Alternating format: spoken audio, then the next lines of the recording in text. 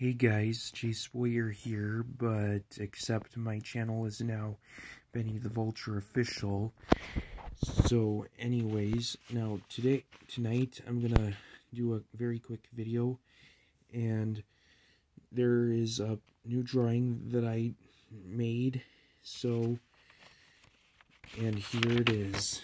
So this here, you know, this here is a picture of Benny looking sad and the his lower half is all bandaged up.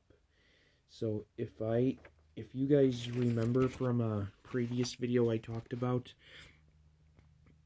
um now in now it's the one where i explained that um fifi and shirley would inflate benny with Fifi smell and Shirley psychic powers.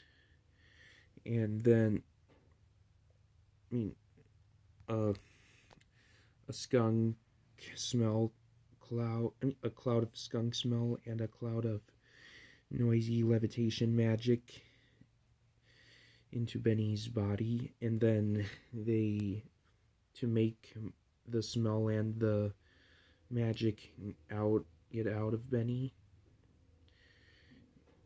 out of Benny, Fifi and Shirley use a sharp pin to poke him onto the butt.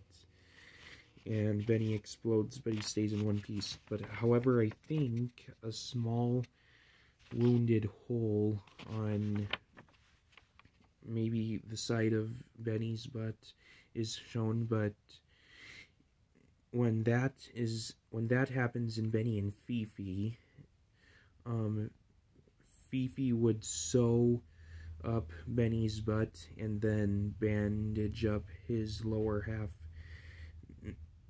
My knit, but she doesn't bandage up his entire legs and his entire tail feathers. And then, and then this thing happens again in Benny and Shirley, but this time in Benny and Shirley, Benny as Benny once again has a wounded hole on the side of his butt, but I think this time it is on another side of his butt. Um, Shirley sews up Benny's butt and then bandages up his lower half, but doesn't bandage up his entire, but she doesn't band, but she doesn't bandage up his entire legs and his entire tail feathers. So, yeah, so anyways, thank you guys for watching this video, and sorry that I've been stuttering a bit, but thank you guys for watching, and please like, please subscribe, please comment, and good night.